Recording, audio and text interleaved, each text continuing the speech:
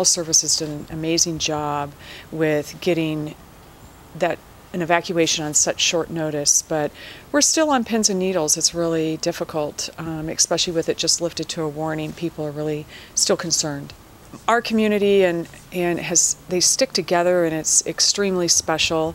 That um, it's amazing. You know, Mugshots, little coffee place downtown. You know, they're starting to seep in water in their basement, and you know they're serving Danish and coffee while they're pumping out the basement you know, we're an old community, you know, we have old historic district, which is amazing, and that all the love that just continues to go in down there um, is uh, just, it's beautiful. This dam is over 50 years old, and when the spillway ended up with a hole in it, that's just, um, I think, the wake up call that is the infrastructure from across the United States, and um, things need to be done. It's not just the dams, it's the bridges and the highways and freeways.